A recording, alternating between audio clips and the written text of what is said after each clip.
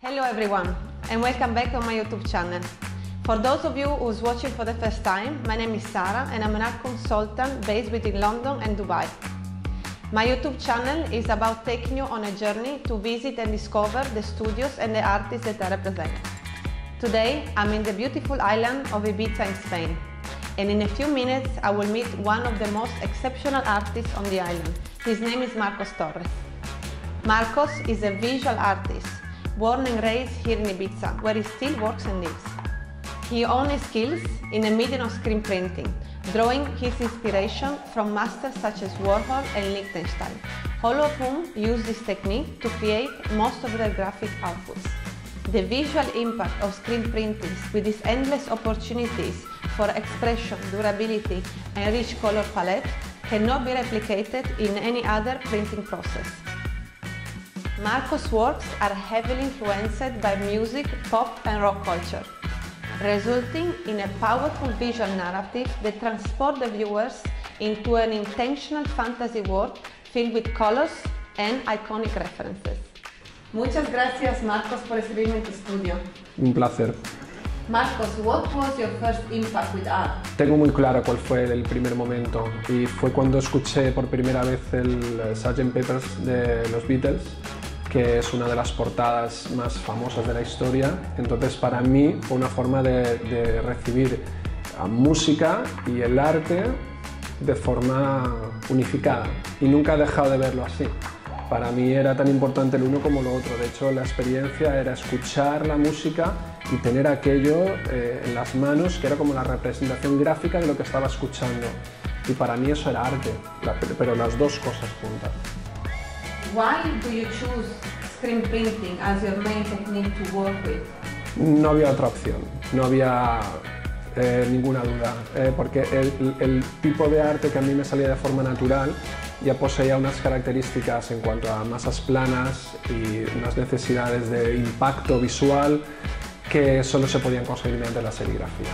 Entonces encontré, busqué mm, asesoramiento en Barcelona eh, y el que después era el presidente de la Asociación de España de Serigrafía vio lo que hacía y me dijo, esto tienes que hacerlo en serigrafía. Y cuando lo hice por primera vez me di cuenta de por qué porque a pesar de haber trabajado durante muchos años en artes gráficas y saber muy bien lo que es el color, cuando vi los colores de serigrafía tuve la sensación de ser la primera vez que veía el color y yo me decía a mí mismo, ¿y tú qué pensabas lo que era un rojo? Esto es un rojo, porque nada tenía una intensidad como un rojo, ni la profundidad de los azules o el, el brillo de los amarillos, yo me quedé enamorado del proceso. Marcos, I want to ask you something which all of you want to know because Ibiza is being recognized as a party island. How is to be an artist here in Ibiza? Bueno, Ibiza es mucho más que, que, que una party island. Eh, de hecho, Ibiza desde los años 60, 70 eh, fue un lugar que, hacía, que ejercía un magnetismo espectacular para eh, artistas de todo el mundo, de todas clases, y se formó una comunidad artística muy potente ya de los años 60. Eh, los 70 también, eh, o, los años 80. Luego, aparte de los años 90, sí que empezó a tomar, en mi opinión, demasiada relevancia toda la cuestión de música electrónica, isla de fiesta, se promocionó mucho en ese aspecto, se nos fue de las manos y eso como que ha tapado un poco todo, toda la riqueza y toda la, mm, todo lo que hay debajo. Eh, ser artista en Ibiza ahora es eh, francamente muy gratificante porque si ha tenido ese magnetismo la isla de Ibiza es por algo. Es decir, a nivel inspiracional es un sitio que tiene muchísimo potencial, es un lugar donde eh, es muy fácil crear. Por eso viene mucha gente a Ibiza para una semana y se queda toda la vida al final y muchos de ellos dedicándose a, crear. y en los últimos años está habiendo una explosión y un empuje muy importante de eh, ferias de arte, asociaciones que tienen que ver con cuestiones artísticas. Hay muchos actores ahora mismo a nivel artístico que están empezando a apostar por eso, eh, para dar un nuevo enfoque y, y poner sobre la mesa una, cara distinta a la que está acostumbrada la gente. Marcos, how do you choose your subject for your artworks? Pues casi te respondería que son ellos los que me escogen a mí, a riesgo de parecer el típico artista chiflado que oye voces y esas cosas, porque es eh, algo que surge de forma bastante natural. Yo ya de por sí soy muy mitómano y mis referencias son mucho más cinematográficas y musicales que artísticas, entonces para mí es muy sencillo, ocurre de forma natural. Eh, representarlas ya no idealizadas, sino casi representadas de forma eh, religiosa, diríamos, porque opino que necesitamos dioses, necesitamos héroes a los que adorar y es un impulso que yo, que yo tengo y que mm, llevo a cabo. Marcos, how does it work, the process of the screen printing? El proceso es fascinante eh, desde el punto de vista artístico y desde el punto de vista técnico, de, las dos maneras.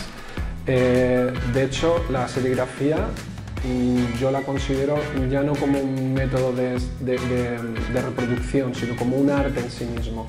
De hecho, la persona que lleva a cabo la serigrafía necesita muchísimos años de capacitación técnica para poderlo llevar a cabo.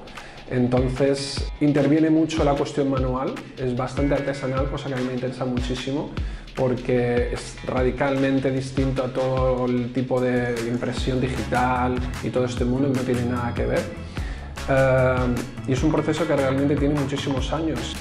Una de las cosas más fascinantes del proceso de la serigrafía es que es color por color.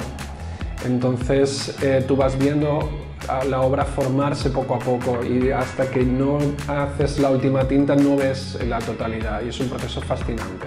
Luego el proceso sí tiene muchos valores que no están en otras técnicas de, reproducción, como es la durabilidad, la intensidad de los colores, casi puedes notar el relieve de la tinta una vez que lo has puesto sobre el papel.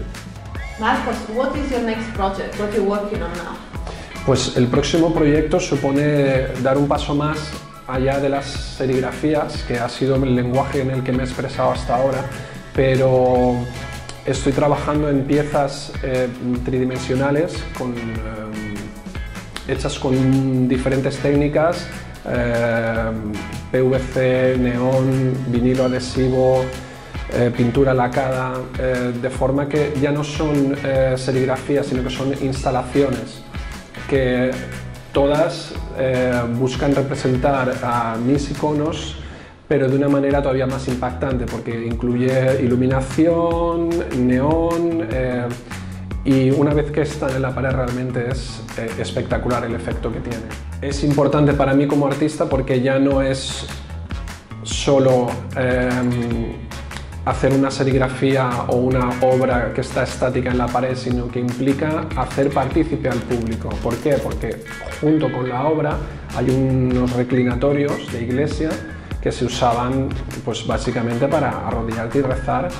Eh, entonces eso está puesto delante de cada una de las piezas de forma que la gente interactúa y te puedo asegurar que cuando interactúa lo hacen sintiéndolo de verdad porque esto no es un ejercicio mío eh, de irreverencia, ni de crítica, ni de nada. Yo estoy siendo total y absolutamente sincero en cuanto a la forma en la que yo veo a mis ídolos. Y la gente está actuando de la misma manera, realmente se arrodillan delante de Elvis y le rezan a Marilyn Monroe. Eh, me ha impactado mucho la respuesta del público y tengo intención de seguir trabajando en ello.